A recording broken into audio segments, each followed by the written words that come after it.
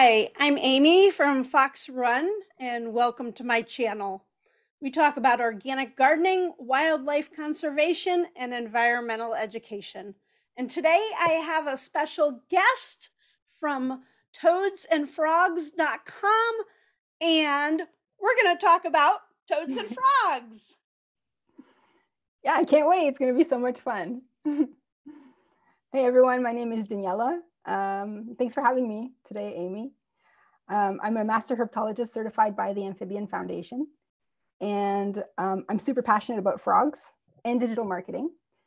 And uh, yeah, I don't know everything. I mean, there's 7,500 frog species, but I'm going to do my best to answer the questions that we have today. wow, I had no idea there were so many frog species. Um, that's incredible. All right, so tell me where did your love of frogs come from? Yeah, so when I was like six, there were toads in our backyard, and um, I'd never seen them before until like that time. And I thought they were the coolest thing. Like they were tiny, they were hopping around, and I mean, I really enjoyed observing them through the seasons. Like uh, in the spring, you know, they'd come out of hibernation, they'd eat like little piggies during the summer, and then they'd be huge in the fall and then hibernate in winter. So I just I just thought that whole cycle was really cool and I loved observing them. But then later on, uh, I moved to Europe in a place where there were no frogs and of course no American toads. And I mean, it's only when I came back to North America later on that I heard a few uh, calling and I thought I was I actually thought that they were ducks at night. I was like, "What's that sound?" So I went to go check it out, and uh, they were wood frogs. And I'd never seen any other species actually, which is crazy. I'd never ever seen any, any other species other than toads at the time. So I was like, whoa, like, okay, what is this? Like, I started looking online and I found the worst Google search results. It was crazy. Like, frogs eat chopped up birds. And like, with my level of knowledge, I was like, I know that's not true. like, they don't eat, uh, like, really bad, like, incentivizing people to kill frogs with bleach, like, lots of things that made me really sad as someone who loves frogs. And so at the time, it's interesting. I was looking to start a new project where I felt like I had some kind of um, giving back, like a real implication where I could have a real impact, something that was I could do that would be impactful. And when I saw that, I was like, okay, this is the project I want to work on right now. I want to outrank all of this content and really provide the best possible content about frogs uh, with integrity, respect, kindness, uh, from an educational standpoint, because I have a background in, in teaching as well. So yeah, that's uh, that's how I came to start the site and frogs. Yeah. Well, that is very, very cool. And, um, you know, there's a lot of similarities uh, between us um, because we both put, you know, education uh, first. And so um, it's it's great that you took this, um, you know, love of frogs that you had as a child and you've given it a real purpose and a real intention. So that's um, awesome. All right. So I know I've wondered this, and a lot of other people wonder. So, what is the difference between a toad and a frog? This is such a good question. And I've seen it so much online, people debating each other. They're like, no, that's not, da, da, da. I'm like, okay. As scientists, we like to debate. it's all good. The thing is, all toads are frogs but not all frogs are toads. So you can call a toad a frog, but not all frogs can be called toads. So I'll explain. Um, within the family of amphibians, most people know that you have salamanders and frogs, but there's a third group called caecilians, which a lot of people don't know about. So it's just an interesting anecdote. And then within the group of frogs, frogs are called anura, technically, which means amphibian without a tail at the adult stage. That's how they differentiate from like salamanders, for example. And so within that classification of Anura, which includes all frogs and toads, you have toad families. So there's groups that differentiate from other groups of frogs. Um, and Bufonidae, which is the true toads, is probably the most known group, which includes American toads, for example. So I guess you could say all toads are frogs, not all frogs are toads, and toads are part of different families within the group of frogs. That um yeah, that is fascinating. And I yeah, I've thought and I mean, I have a degree in environmental science, but we really don't get into species specifics. But I kind of thought, yeah, they were, um, you know, different. And toads were maybe more land oriented, and frogs were Absolutely. more water oriented. So there's there's characteristics that kind of separate the toads. What makes toads different from other frog groups, I guess you could say, or like um, families of frogs. Uh, they have a parotid gland behind their eye, so it's a very large gland. All toads have this, um, and they secrete toxins from that gland. The interesting thing that people need to know is that toad species um, secrete different toxins. Some do secrete the same kinds, but a lot of them secrete different toxins. And so the whole like I got these comments on my channel anyway. Don't be licking toads, first of all, no matter what species it is. Okay, you're gonna get salmonella first before anything else. Like, I mean, bad idea. But long story short, they don't all secrete the same toxins. So if you're looking to do something, it's not a good idea no matter what. But anyway, that's that. But uh, yeah, it's super interesting uh, that toads can can do that, and some can even shoot it out. Anyway, it's fascinating. So the toad can project the toxin. cane toads yeah like Oh my can gosh. get really big yeah it's intense like when like especially when uh, an animal will clamp on it it's just like uh, Right. yeah and, yeah Oh, well, that would make me stop wanting to eat it or lick it. Yeah. oh my gosh. Okay. This is fun. I'm learning all kinds of stuff. cool All right. So it's springtime when we are recording this. It's May. And um, I know I am hearing a lot of frogs, and I don't always have the best luck finding them. So, what are some good ways to observe frogs, you know, without um, terrorizing them or, you know, scaring them? How can we kind of sneak up stealthily and and uh, get to watch them? absolutely so i guess my tips are kind of north america focused in a way just because like i i'm from the east coast so i know like mostly the species here but a lot of what i'm going to say still applies no matter what where you're located and what kind of frogs you're looking for i guess my general tips would be first of all to be patient Just to oh, say- Oh, I, I know know. that part. I did too at the beginning. I was like, oh, this is taking forever. But yeah, okay. We try to go in the evening at night. That's generally where most frog species are out. Some are, most of them are nocturnal. Um, around mating season is the best time. So we're talking in the spring. This is when you can hear them. So it's easier to pinpoint their location. And so what you would generally do is you would approach the area where they'd be located. They're generally going to stop or they might not call as much. It, it depends on the, the species. I know in spring peepers will stop calling right away when I approach. And then you just kind of wait and wait to hear one. And then you kind of zero in on that one that you hear calling. If you can hear one like really loud, and then you try to get closer to it. So you get closer, it might stop. You get closer, it's gonna stop. It's like it takes a while. That's why you gotta be patient. But once you get there close enough and you hear it, if you have a flashlight, because generally it's like early evening, you might flash your light and you'll see something shiny around, like look around the base of the tree or like on branches and things like that. And if you see something shiny on the ground, that typically is the frog. Like I, for most of the time where I've done this, it's because it, it's more of a dry evening. So like you'd see the shiny thing, which is the wet frog. Uh, so that does help uh, if you're looking for them at night. that makes sense. And then I guess more specific ways to find them. Um, that's just general tips, but more specific. Let's say it depends on the type of frog that you're looking for. I kind of group them into three things, but uh, there's lots of different kinds. This is kind of like a generalization, but let's say aquatic frogs, tree frogs, and toads. Maybe you'll have different luck using these different tips. So aquatic frogs, a lot of them are out during the day, from what I've noticed, like the ones in my area, um, along the shallow areas of pools of fresh water. So I don't know, I had someone comment one time, they're like, I went to the beach, I didn't see any frogs. I'm like, okay, well, I mean, that's like intense like waves and salt water. There's not going to be any frogs in the sun.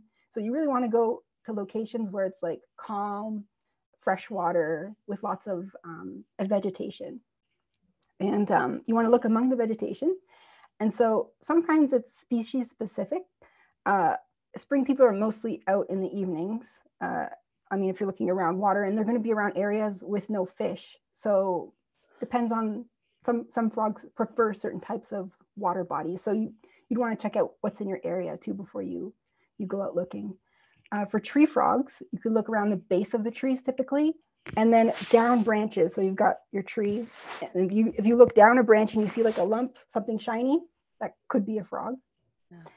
And then toads on the ground. Uh, I love toads. They're just like they're just there. I was on a walk the other night actually, and I saw one out, and it was so it was trying to get over the curb. Poor thing. And I knew right away it was a toad, so I, I helped it up over the curb, and then they went right to the pond where it was going. It was, it was so cute. But yeah, I mean, they're out at night. They're just doing their thing. Yeah. Oh. I um I think they were spring peepers, but I'm not totally sure. But um when I had the farm, I would have stock tanks, and the stock tanks were full of water. And I had a pond, but it was a little bit farther away when the where the barn was, and the spring peepers would come lay their eggs in the stock tank. Oh no. And so then I'd end up covering the stock tank, getting Yeah. another, um, you know, water source uh, for the animals, um, so that the, you know, eggs could then hatch. And uh, and then the um, funny thing is, we tried taking those them to the pond, um, but I don't think that worked out so well. Um, and then at one point I just um, covered it and waited for them to become, you know, frogs and eventually hop out. Uh, my son put pieces of stick sticks, floating um, branches and things in the water so that they could then get out when they were ready. But um, but it was pretty funny, and people laughed at me because I had totally rearranged my watering system for the goats because we had you know frogs in the stock tank, and that was important. So Yes. um, Thank you. From the frogs, thank you. yeah. they were so cute and so much fun to watch. Yeah. Oh my gosh. But you were talking about just now helping a toad um, get up on a curb. And so I love the video on your channel. I think I wrote it I wrote it down. It was in it's the one that's intense toad in road rescue. And so I, I just love that. But um so you know, I I don't see a hot road as a place uh, you know, a toad would want to be. So why do we see toads out and about on the roads so much? Absolutely. It's a it's a common problem. And um, I mean, no matter where there are frogs breeding, generally you're gonna have frogs crossing roads because they migrate. And um, the adults generally come down, go to the pond, lay their eggs, and then leave and go back to where they came from. So uh, they could cross, you know, multiple roads. When that happens, um, oftentimes the toads were used to, or the frogs in general, were used to going from that one place to the other place, and there was nothing in between that would be in the way.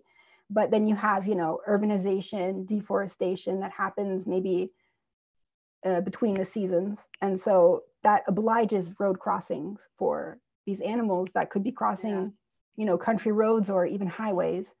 And I mean, they have very little chances of survival.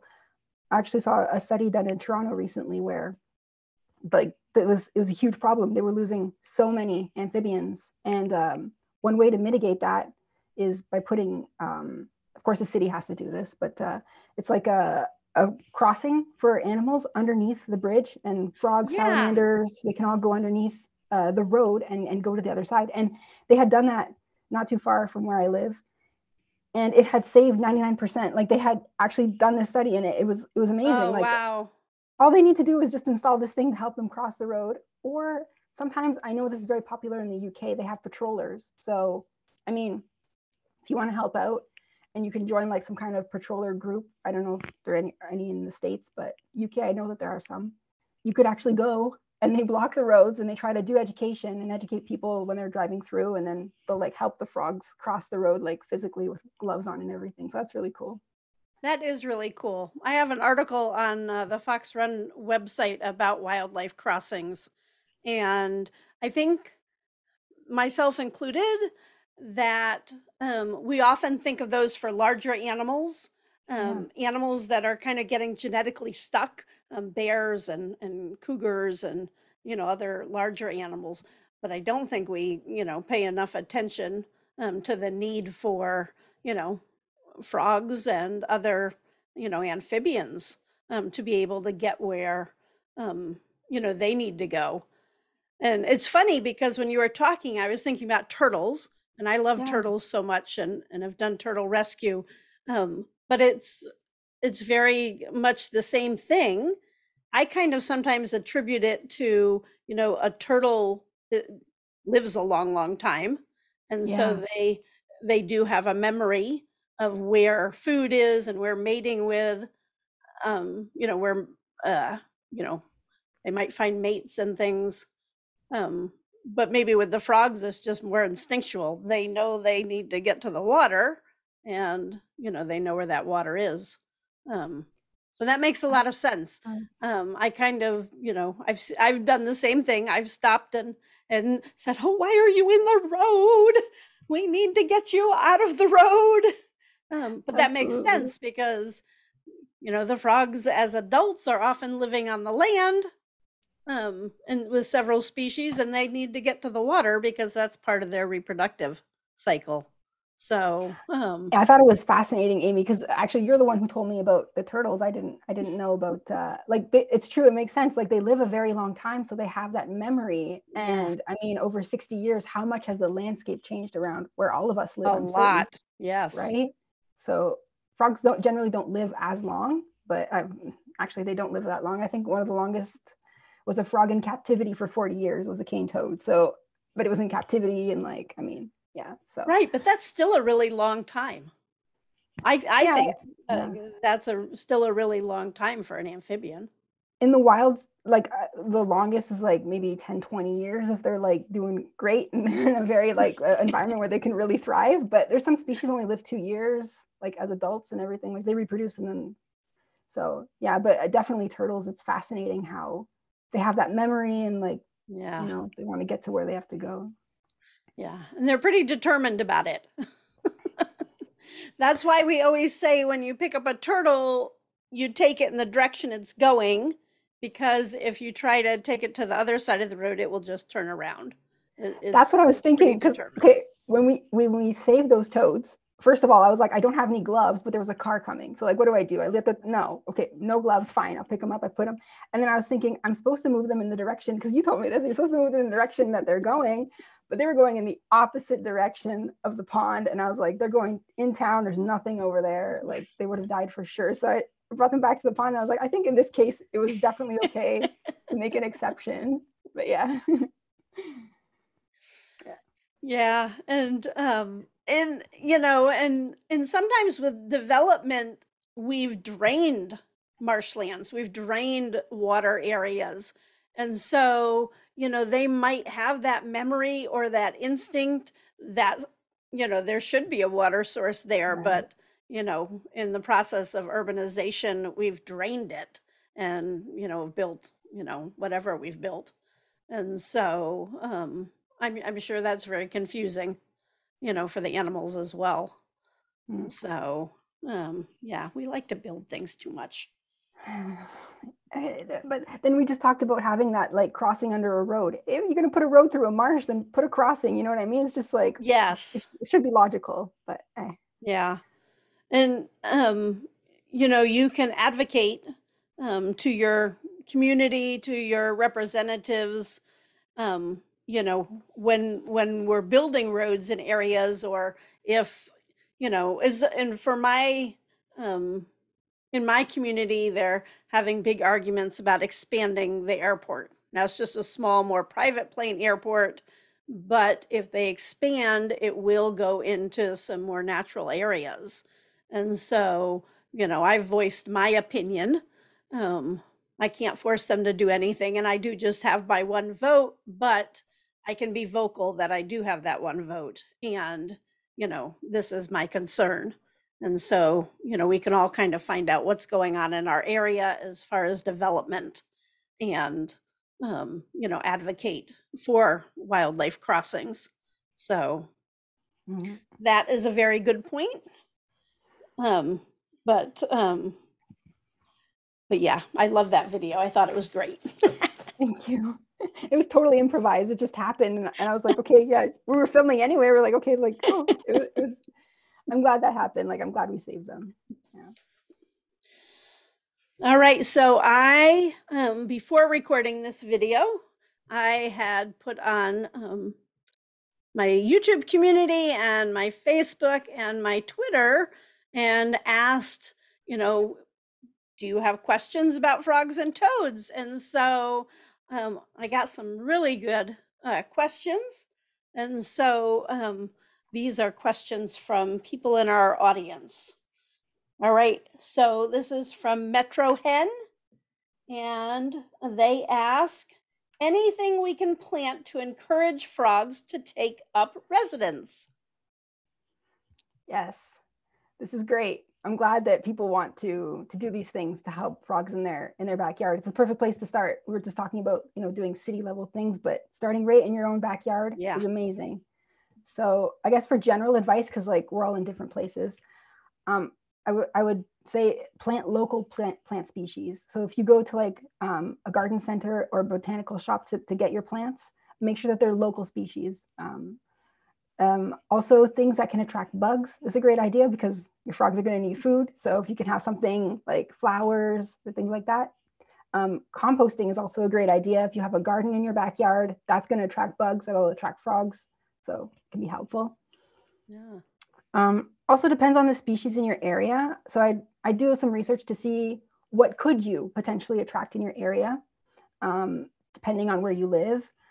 Maybe you could have um, aquatic frogs, and then you'd want to put in a pond in that case, like a, a small frog pond. Um, if you could attract toads because there's toads in your area, then you'd want to probably compost and have little garden lights to be able to have the because they like bugs at night. That's what the attracts toads, garden lights. So yeah, something like that. So um, I guess tree frogs, you probably want to plant local tree species, you know, that the, they would enjoy, um, leaving patches of grass open. I'm going to talk more about tips for this in, in another question, but I think those are pretty good tips just to start to try to attract them to your, your yard for sure with plants. Yeah, and um, that makes a lot of sense. And, you know, because if you want frogs, you need to have. Uh, I actually have a video in progress about wildlife gardens, but you need to provide food and water and shelter, you know, for any animal you wish to attract. So that makes a lot of sense planting flowers. So you're drawing in in bugs. And if you're a gardener, the um yeah, frogs and toads are very beneficial because they eat some of those bugs that you, you know, don't want. So, Mosquitoes, who wants, me- like, yeah. great for mosquitoes. Yeah. Yeah, there you go. um, so Wee Wee asks, I'd like to know why I seldom ever see frogs anymore. I live on the river, but also really close to a distillery. I mentioned the distillery thinking it could be pollution. So from this question, I'm just going to assume that maybe we we had frogs there before, and now they're like, okay, where'd they go? Like there's less of them, or there's not as many. Um, so for sure, frogs are definitely a sign of a healthy ecosystem. I can't say for sure that it it would be the distillery or not, but like let's consider a couple localized factors just to like think about it. So maybe have there been major changes in the area? Like has there been urbanization, deforestation in that area? Um, has the water quality changed over time? As the temperature fluctuated a lot? Uh, is the flow a lot stronger? Because frogs won't stick around water that's like the flow is too strong. Because of course they don't want to lay their eggs in a place where there's too much flow because it'll just take the, the eggs down the river. Or so yeah, they're they're gonna choose very calm areas. So I don't know, maybe the flow has changed. Maybe there's less vegetation. It could be pollution as well. And then I'd look at like maybe global factors. I mean, this is kind of affecting everyone probably watching this, but I mean, we've got urbanization, deforestation, pollution, um, climate change in general. The pet trade is also contributing, unfortunately, to uh, the decline in frogs globally. And uh, there's this um, fungus, there's a few, but the most um, known one is uh, chytrid fungus. It's very uh, common in Australia. Unfortunately, they've lost a lot of frogs due to this. And there's a lot of groups of scientists and local citizens doing the best that they can to help the frogs, especially during, like, actually, frogs breed a lot over there because I mean, the temperature's great. So they've got like a great environment to be active all Yeah. year. But uh, yeah, so there's a lot of people helping out with that in Australia specifically. Um, but yeah, those are probably a couple reasons why the frogs are in decline. Wow, that's a lot of uh uh, Amy, I was in uh, I was in Lisbon recently, and I went to a, like a museum because they had like a frog exhibit. It was really cool, but there was this whole wall, like a big, big wall, like it was really big. I don't I don't know how to anyway, and it was just in tiny, tiny font of all the frog species that are have gone extinct, and like have like, and I, I was like, wow, like it, yeah, it was it was really heartbreaking to see that because, I mean yeah well anyway yeah. yeah um yeah i would find that heartbreaking as well and um you know frogs have a thinner skin and yeah so i can see where they are very sensitive you know to all of the things that you talked about you know sensitive to the pollution because their body is you know in the water and kind of you know fluid exchanges and um you know just the changing uh, temperatures, I can see where they are just, um, you know, sensitive to that and would have a hard time. You know, you can't adapt quickly enough um, to a lot of things. You know, humans have not adapted quickly enough. Um, so, yeah, yeah, so the poor frogs. I mean, there's a lot of cool adaptations. I think we'll talk about it later on, but it's definitely yeah, it's unfortunate. Um, so I've heard others mention, you know, we're talking about the frogs' uh, declining populations.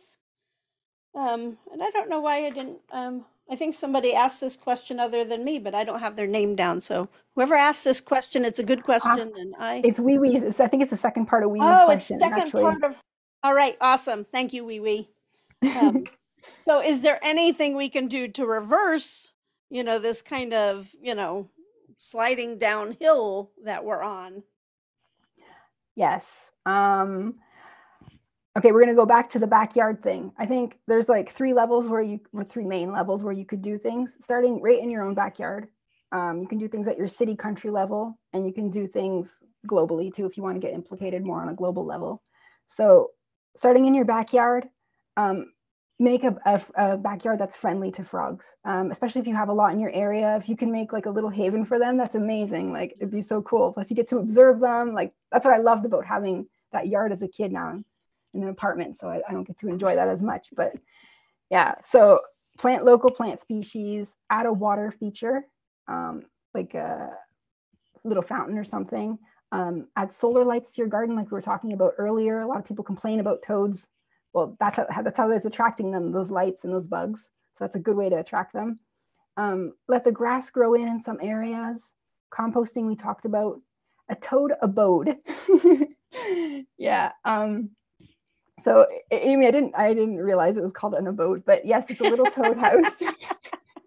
Maybe that's a gardener thing uh, you sent me because Amy sent me that that word earlier, and I was like, oh, that's a toad house. That's so cool because I was just calling it toad house. Anyway, yeah, um, I think it's really important that people know not to have a base on it. So uh, all it is is like a, it can be like a clay pot. I think I have one back here.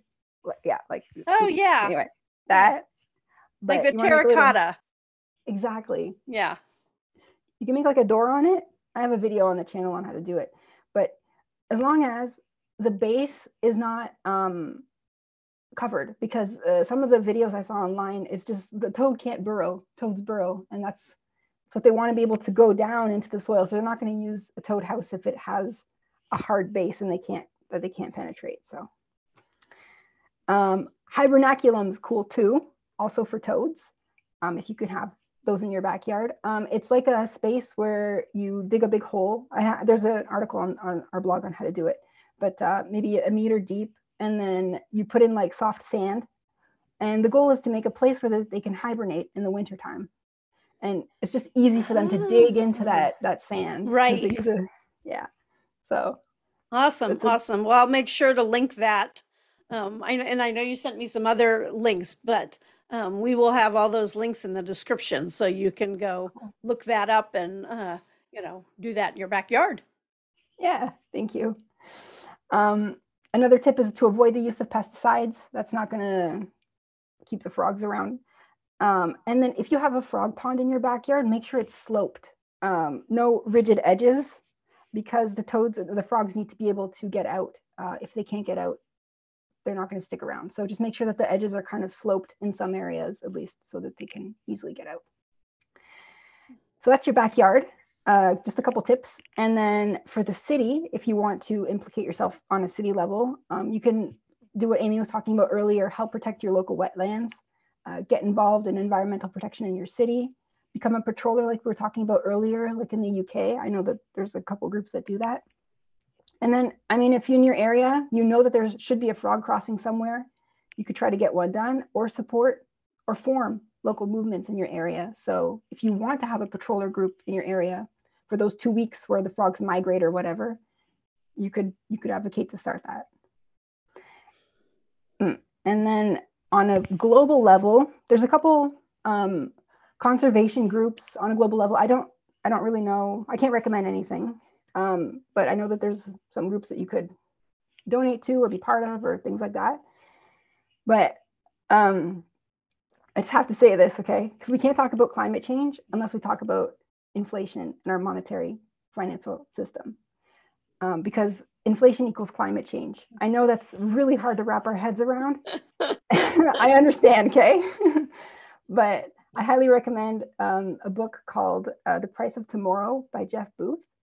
And if anyone wants to learn more about going to the root cause of climate change, like at the bottom of it, it really is our, our global financial economic system. Like we have a system where we have to expand constant, constantly, where we have to consume more and more on a finite planet that that only has a certain amount of resources.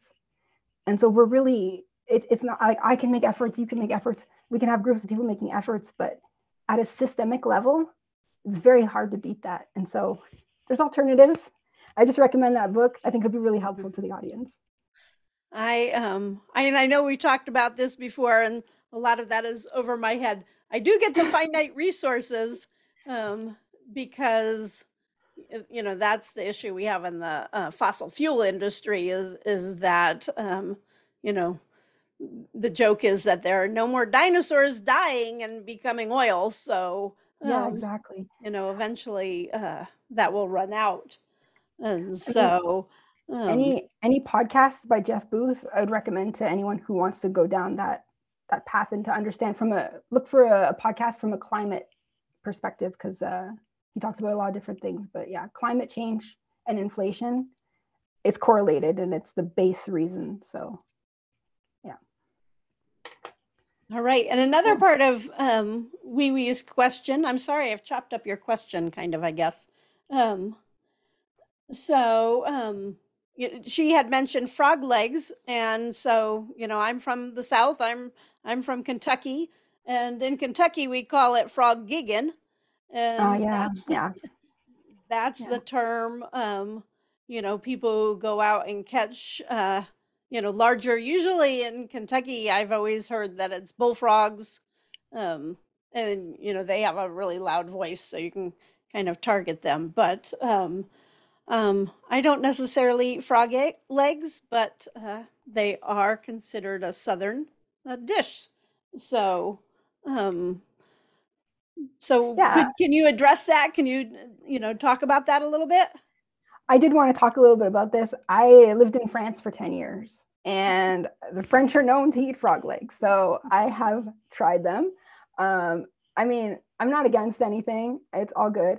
I think I have a couple tips for this. I'd encourage people to um, like purchase ethically sourced frog legs. So if you know a local hunter who is doing it ethically and locally, great. Uh, I mean, I know that gigging they use spears. It can be very violent. Uh, some people shoot them. Like I, I- have an article for hunters on the blog, and I was, I was hesitant to write it, and then I was like, this is an opportunity to educate. And so, that article, what they were looking for is what the laws are in their area, when can they gig, how much, etc. So we gave them the answers, and at the end, it was like, okay, what are ways that are a bit more humane to do this hunting? Like, okay, shooting them is just impractical. It's not nice. Like we just explained it very like in a good way, just to like try to meet people where they are because they're gonna go hunting anyway. So I think as consumers, we have a choice of choosing where we get it from and who we buy from. So ethically, locally sourced is what I would encourage the most. And then, of course, like you were talking about earlier, that the species is important. Um, American bullfrogs, they're invasive in multiple places in North America, and they get very big. They can be the size of a Yeah. small cat. Yeah, they they do get big. They are mouths on legs. Like it's so crazy. like, yeah, they they can eat bats, uh, mice. Like they will just sit and eat all day. So I mean, okay, I mean it's a good sized frog to uh, consume their legs, and they are a problem uh, in. I mean, I know the Pacific coast uh, of the states in Canada. So uh, the common water frog in Europe is um, one that's very uh, common to uh, that, that people eat. So that's more for Europe. But there's species to avoid um, if you're going to consume them. I would recommend avoiding personally. Uh, leopard frogs, apparently, and they're not even that big in my opinion. They're much smaller than than American bullfrogs, but they are also sourced for consumption. But they're they're endangered because of that consumption, and also because, especially because of high schools using them for dissections. And so, oh, yeah. if you're going to consume frogs, and these ones are from North America, so if you're going to consume um, frog legs in North America, avoid leopard frogs because they're endangered because of how much they're being used in high schools and for consumption. That makes a lot of sense. And I did not realize that um, bullfrogs were not necessarily native across, you know, North America. Um, because No. I don't know, I feel like I've seen them in every state I've been in, but I guess that's kind of the definition of an invasive species. Yeah, it's actually because of um, grow, like growing them. I don't know how to say like uh, sourcing them. Um, they were brought over from our side of the coast to the other side, and uh, I guess from what I read, there was a few that escaped the facility where they were being, and then they just kind of proliferated because their mouths on legs and they eat good. Right. So I mean, yeah, Well, and that's why, you know, um, we have raccoons around the world is because, uh, you know, the pet trade. Oh yeah, And um, yeah, and now there's a sizable raccoon population in Europe because, you know, escape pets.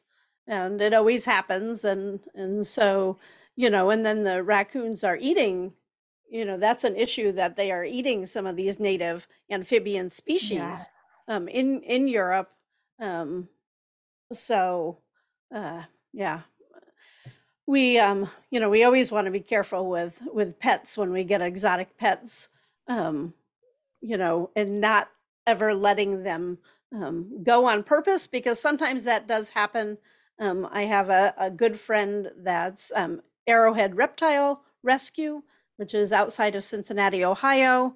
And um, he's one of the few people I know that takes um, pythons and, um, you know, other large snakes because people get them when they're small and they don't stay small you know they um, get very large as some um, tortoise species get very large.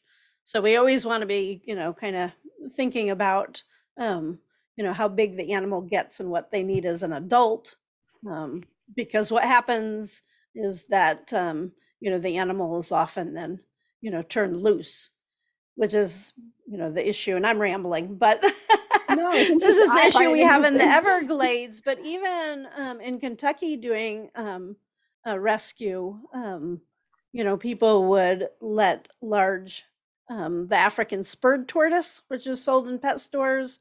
Um, I took in several of those every year, and um, you know, then they uh, would need to be rehomed. They were pets, but they can't. They're from the African desert. They can't survive a Kentucky winter, and so um, you know we just need to think about that. Same same with frogs. You know, thinking about what their needs are going to be, and not just letting them go and finding. You know, if you need to rehome it, uh, finding someone who can do that. So I'll stop Mhm. rambling. No, no, I, I agree with you, and it's super interesting. Uh, personally, I think it's super interesting. Um, I think I think one of the things with frogs is that, like I said at the beginning, there's over seven thousand five hundred species. I mean, they all have specific needs. Like Mhm. it's Yeah. before getting a pet frog. I don't. I, I have a video where I say I don't have a pet frog, and here's why. And the first reason is because I don't like bugs. So, like, I mean, if I don't like bugs, I can't have a frog. Yeah, yeah, that's a good video. I like that one. Thank you. But yeah, you, you definitely have to really know how to cater to that that specific species of frog and like never never abandon your pets. I think that's like that's logical, but Yeah. Yeah. All right. The next question is from Katie and Laura, and they do For the Love of Nature podcast, um, which is a younger podcast. It's great. I, I recommend it. They did, uh, it's been a month or two ago. Um, they uh, actually interviewed um, Kerry Kriger, Dr. Kriger, who um, is the Frogs. And I think, I think he's in Texas.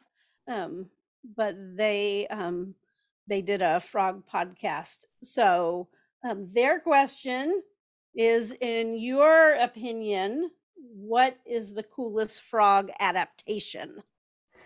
I love this question and I couldn't help myself. I had to write out a couple of them. So but I'll get my favorite at the end. Okay. So I think um here are a few cool frog adaptations just for the audience's general knowledge. But um, there's a couple frog species that can change color, especially during mating season. So moor frogs, for example, they're from Europe. Uh, the males turn blue during mating season to distinguish from the females. So that's a really cool adaptation. It is really cool. And I did not know that frog even existed. And they are blue, like not just a pale blue, but they're a very pretty bright blue color. So yeah. Frogs I love that you said pretty because like the pictures I found I have on the blog, they, they look like they're just like the most beautiful frog ever. They're just chilling Yeah. in the pond. It made me laugh so much when I saw that photo. I was like, I have to do a profile on these. They're too cool. uh, yeah, biofluorescence is also a really neat adaptation. And um, if you want to learn more about that, Jennifer Lamb has a ton of research done on this. Super cool. Um, also, the saltwater adaptation is really interesting. Um, we were talking about how you wouldn't find frogs at the beach uh, earlier, but um, some frogs have adapted to be able to survive brackish conditions. So, water that's half salty and half fresh in a way. Uh-huh. Um, yeah, and cane toads are known to be able to lay eggs and survive and you know reproduce and everything in, in brackish conditions. So, yeah, I thought that was interesting. And I think one of my favorite, my favorite way that the adaptations of frogs is uh, their ability to change gender. And so Yeah. I have, yeah, it's pretty cool. I have this quote from recent research from uh, Lambert and Al 2019. I thought it was interesting. Just to give a quick background about this, uh, what they said in their research is while sex reversal and intersex are often considered aberrant responses to human activities and associated with pollution, we found no such associations here. Our data perhaps begins to suggest that relative to what's often suggested in other research, sex reversal may be a relatively natural process in amphibians. Because prior to that study, a lot of the studies before, Hayes and Al, had said that it was an aberrant response. It's not a, like, it's bad, da da da. It's like, oh, it's because of pollution. Certainly the pollution contrib- contributed, like, definitely. But I love how in a pristine environment, he had done it like I in the course I had saw that he went out into like a forest, pristine environment, uh, a little pond, like out in the middle of nowhere, no pollution, nothing, and the frogs were able to change gender. And so that was like a, a an example where maybe this is actually normal in frogs, like it's normal in many other species. So, um, I I was when I've heard about that before, I've wondered, are they changing sex to meet the needs of their population so that they can more successfully reproduce? I don't know if they know the answer as to why exactly they're doing it, Yeah. but I'm pretty sure it's probably like I personally I would imagine like I'm guessing here and nothing scientific Right. but I would imagine that it's because you know there's more females than males or more males than females and so just for reproductive purposes Yeah, it makes sense. Um, so, well, those, I mean, frogs are very cool. yeah Um, So the next question is from Catherine, who is the Cat Needle Felts um, on Twitter. She makes really cool felting um, felt animals, and um, so she has a backyard pond, and I'll put the um, picture up. Uh, but she had taken a picture um, of a frog with bloat, and so her question was, "What are the causes of frog bloat?" And I think both of us were kind of stymied by this um, uh, question. Um, Daniella had actually um, worked with a vet assistant on on trying to find some answers with this, and um, I can't stand to not know something, so I went digging. Um, and uh, so African dwarf frogs, um, which are a popular pet species, um, do get frog bloat. Um, and I don't think this is what Catherine's frog was this species, but just as far as context, uh, it um what is happening they it's uh colloquially referred to as uh dropsy or um hydropsy. Uh so what's happening is um the frog is holding in fluids kind of like sometimes humans uh, we retain fluids and it kind of just seems to me it seems a little bit odd you know they're in the water they're an aquatic the african dwarf frogs are an aquatic species but um, from what i kind of gathered they have a tendency and so they kind of you know fill up with with fluid which as we can imagine um, you know is not healthy um, and i'm sure that can be painful if your skin is stretching and whatnot um, but it's a, a lymphatic um, issue and um, it, it can be treated. Uh, a veterinarian can you know drain the the fluids um, but probably getting to that root cause of of why it's um, happening is important.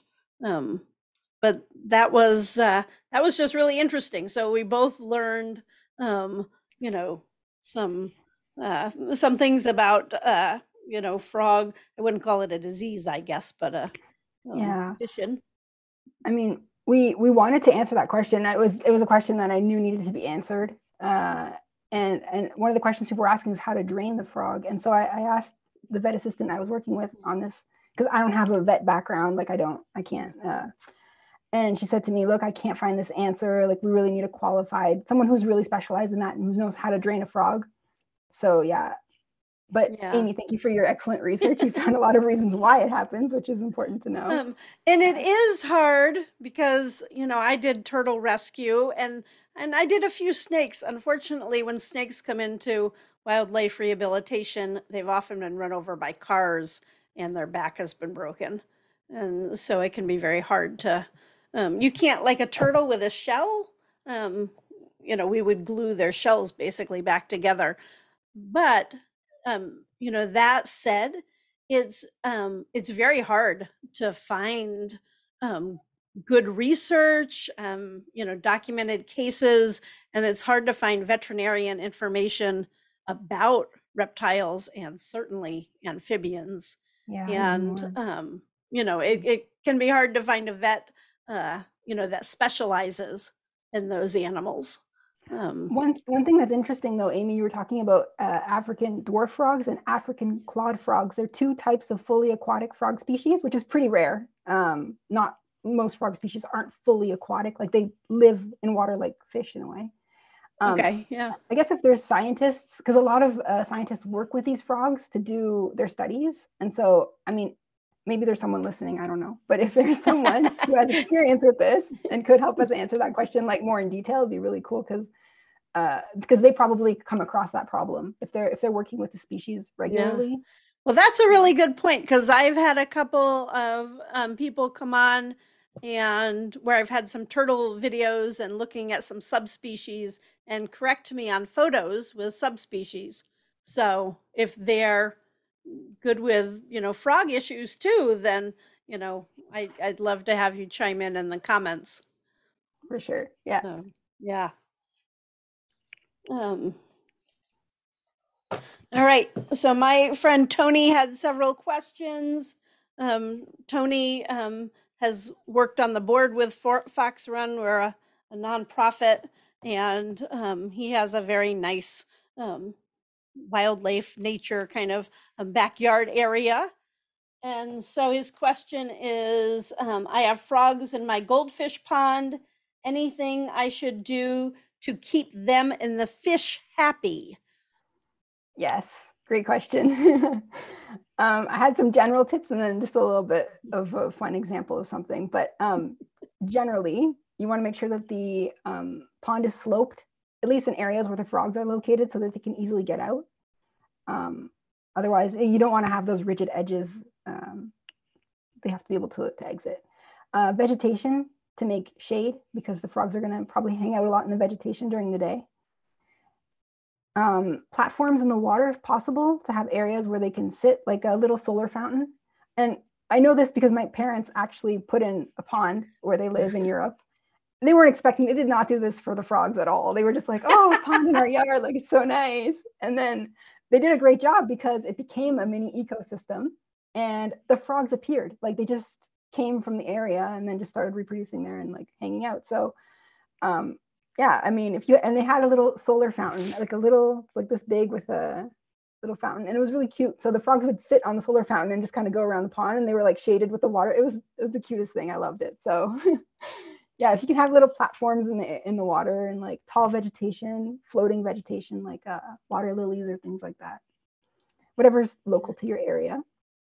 And then yes, frogs and goldfish uh, can co- like fish in general can coexist in a pond the only problem is that they could eat each other depending on the size. So you just kind of want to make sure that your frogs aren't bigger than your fish and your fish aren't bigger than your frogs. Like just kind of, you know, um, typically should should be okay, but I mean you might lose a couple to predation between them. But anyway, um, and then be careful around mating season is my biggest tip here because uh, this is crazy and fascinating. Uh, I saw it on the when we were writing articles for the blog.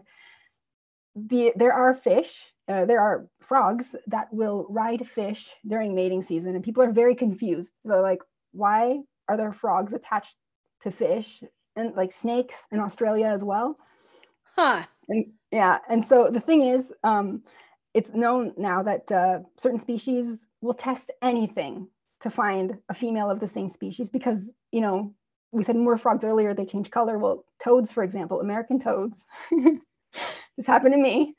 American toads will will clasp onto anything during mating season, including inanimate objects like branches, uh, other females of different species, males of the same species or whatever species. They're just trying to find a female of the same species they can reproduce with. And so when I was a little kid, I was like, you know, near my toad, and then it jumped onto my finger and it was like not letting go. And I was like, what is happening?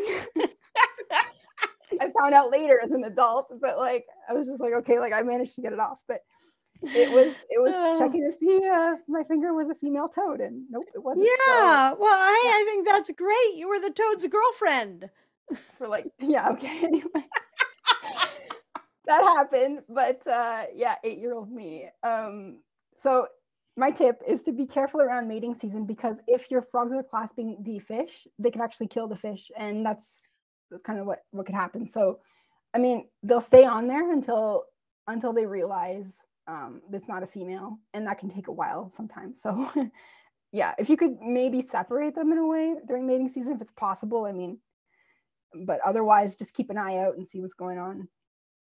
If there's that issue, might be a species that doesn't do that, but I know American toads definitely do, uh, for sure. So, all right, and um, and the other thing is um Speaking of backyard ponds, I can't remember if you were going to talk about this with another question. You you have those, and uh, Gidget has to join me. She's clawing my legs. Um, you have that frog log thing on the website. That's true. I didn't talk um, about it. You're right. You're right. Okay. Well, I mean, thank you for bringing that up because it's important. I mean, this is going to happen to some people watching this possibly. It's a common problem. People have frogs in their uh, pool during the summer or, or spring too. The frogs don't know. They're just looking for a place to lay their eggs. And the issue is that's where that slope is a big problem. Uh, they can't get out of the pool. They some do manage to get out, but still, like the water's not the right temperature. There's chlorine. Like there's just so many reasons why it's awful for frogs to be in a pool. And so there's this company in the states uh, called Froglog, and it's just a little floating platform, and it actually helps tons of wildlife, not just frogs specifically, but like uh, there was squirrels on there, uh, salamanders, any small animal that might fall into a pool and needs to get out and that can't get out because that slope is missing in most pools. Well, there you go. You put, you install a couple frog logs and you have a, a way for them to escape. So yeah, I, I think it's a, a wonderful product. The only thing is I talked to the owner of the company and he was telling me that there's a lot of copies on Amazon. And it's so sad because there's tons of sales on Amazon and it's not going to this guy who invented it and like, you know, Yeah. he has, he has a whole wildlife background. So yeah, I mean, our site has a, link directly to his site, uh, an affiliate link. So if you want to use that, you can use that. Otherwise, just make sure to go to Froglog, the actual official site, and not like through Amazon if you can, Yeah. just to support him. I think That, he deserves um, support. Yeah, that that's happened in the wildlife rehabilitation world with um, the miracle nipple, which was Ah, actually yeah. developed. It's a little nipple. It goes. I have a short on it. It goes um, on the end of the syringe for feeding tiny, you know, like infant squirrels and and and things. And um, so it. Um, was actually developed and invented by a woman who is a wildlife rehabilitator. Um, but there's been a lot of um, knockoffs. And she sells it on Amazon. It's just that um, uh, I think she sells it maybe at a, at a price because it's made, you know, in America, and um, and sometimes you get things that are made in other countries that can be made much cheaper. And Yeah. so, um, but um, well, goodness. All right, so Gidget's not going to be on my lap anymore because she's being irritable. So, um, but um, but yeah, I saw the frog log on your website, and I really like that because I have heard in wildlife rehab circles, you know, where um, a lot of baby animals, and when they're first kind of um, venturing out of their nest, you know, um, squirrels and bunnies and and those kinds of things fall in pools, and so Yeah. you know they think, oh look, I can get a drink of water, and you know it's kind of a little bit of a drop. So exactly. um, Yeah. uh, so our next question um, is from Kai, and she was a volunteer at Fox Run, and um, she is absolutely awesome, and she is um, very knowledgeable in reptiles and um, and in amphibians. So she uh, is um, a, a good resource. Uh, was always a great resource for me. Um, so her question is when it comes to invasive species, what's something we can do to help protect our local ecosystems? Uh, before I answer the question, I just wanted to say I think invasive species are, are super fascinating. For some reason, I just find the topic really interesting. and I wanted to give an anecdote about Cuban tree frogs because they're invasive in a lot of places and they actually cause blackouts because they're on the the uh, telephone lines and everything in, in like electric boxes and they'll just like cause blackouts in cities.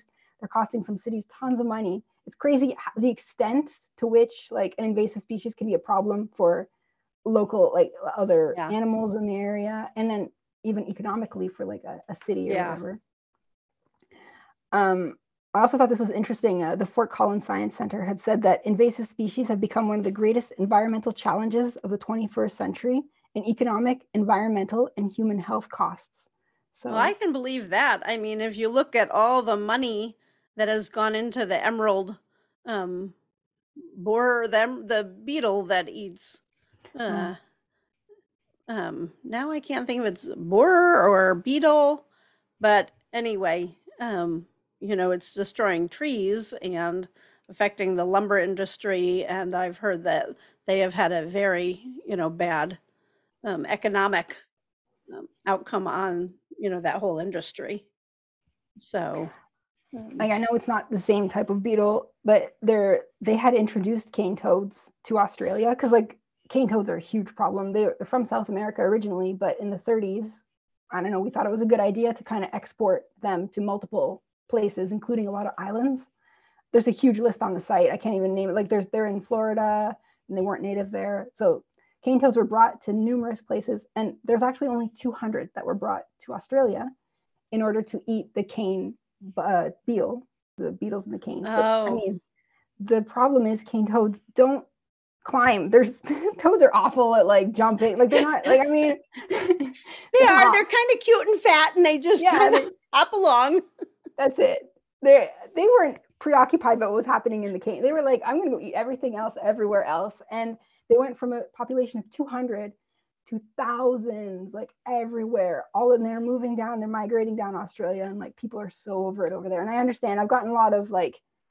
The thing is, I just want the audience to know there are 7,500 frog species, lots of different species of toads. And so I get a lot of hate on the channel because of cane toads. And I understand the Australians' perspective. Like, they don't like them.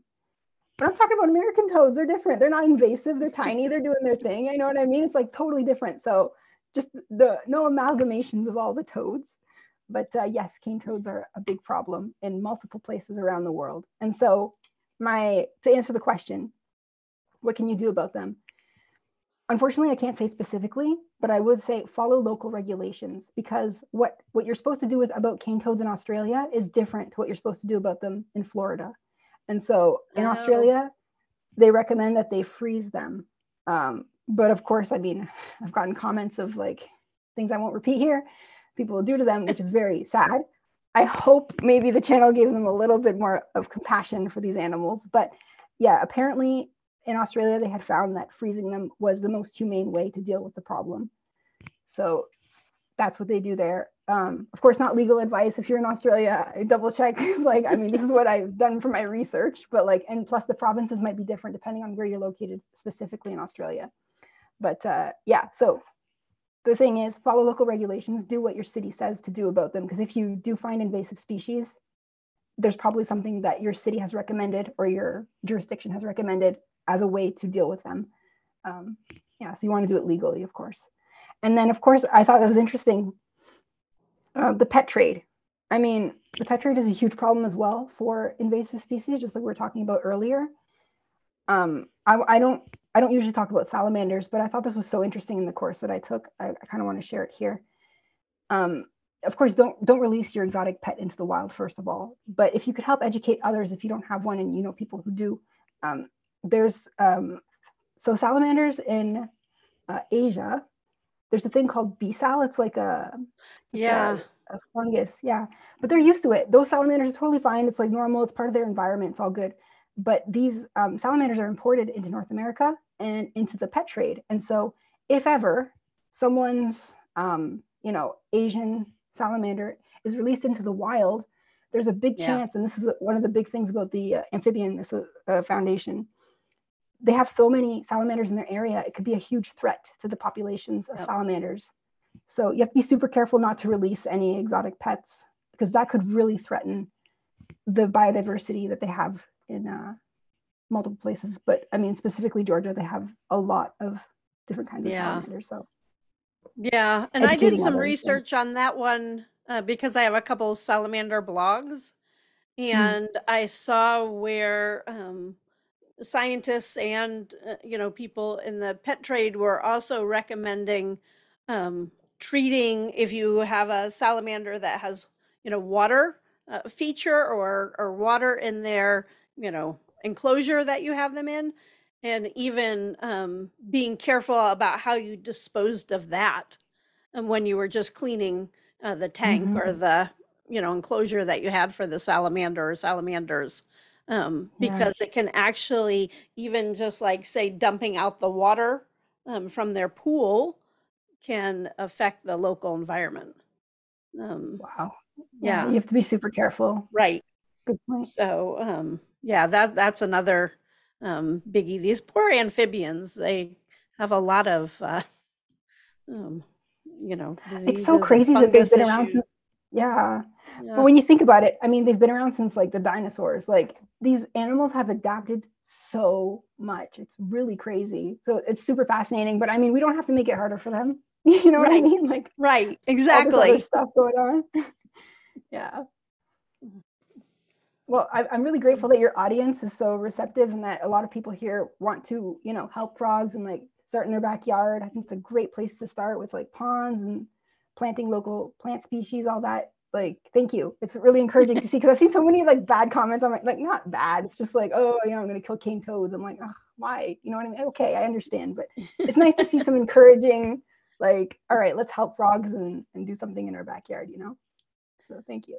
Yeah, it is. Encour- well, thank you so much for joining me. This has been great. Um, I know I've learned a lot and I like learning and um, you know, I'm always striving uh, you know, to do better things for the environment and to help wildlife. So um, this has just had so many um, you know, so much good information um, that, you know, I can take with me and and hopefully the audience you know, has gotten some great information. Um, but I want to make sure everyone knows where to find you, and we will have links and things in the description. Um, but Daniella can um, tell us um, where to read all this great information you've been talking about or watch it. Thank you. Yeah. I mean, you can find uh, more information at toadsnfrogs.com. Um, and then uh, on YouTube, Toads and Frogs as well. So N instead of and. And then Yeah. in the sources in the description, we're going to have uh, links to everything that we just talked about. So if you want to learn more about uh, gender changes, conservation, um, how they migrate, how to attract toads to your garden, like everything will probably be below. And then if you go to the site, I just wanted to address, you'll probably see a banner that says that the site is for sale. And so the reason is I worked on the site for two years. I built it up with my goals were integrity, helping Mhm. frogs, um, educating the general population where they are in their Google search, just like I talked about earlier, the hunters. That's where their mindset is. So, like, where are people in their search and how can I help educate them? And so, uh, the site has gotten over a million views throughout the last two Wow. years. Thank you.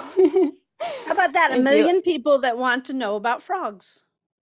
it's good Yeah. i'm really happy i think i think i've had a great impact but like i don't own an amphibian association or foundation. My vocation like I, i'm not in that like 24 7 and so i really want to pass the baton on to someone else. Of course i know the audience who's watching right now is not like a and uh, i'm not pitching to the audience. It's more so if you know of someone who would be interested and who owns a business an association a foundation in the amphibian space that's really who I want to pass it on to. I don't want to sell it to another internet marketer or someone else who's just going to like profit from the income. I really want to give it to someone who can make an impact with that website. So that's why I'm waiting until the end of the summer to to start that. So yeah. Thank you. Well, Well, thank you. Thank you so much for coming on. And, you know, I wish you the best of luck in, you know, all your future endeavors because, you know, you are going to have a wonderful mark on, you know, whatever you choose to do next. So, Thank you, Amy. It's always a pleasure talking with you, Amy. I really appreciate it. so thank you so much for joining us and have a wonderful sunny day.